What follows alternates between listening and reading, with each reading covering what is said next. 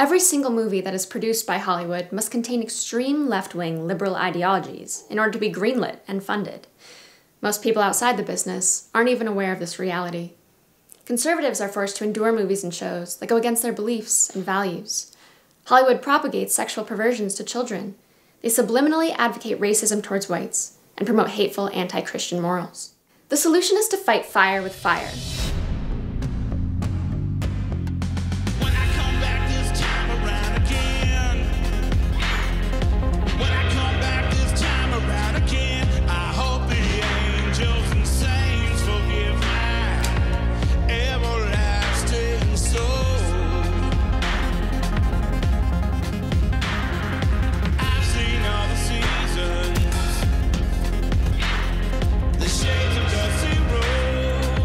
RebellionFlix.com is a mini Netflix style platform that features movies which promote American values and attack liberal hypocrisies.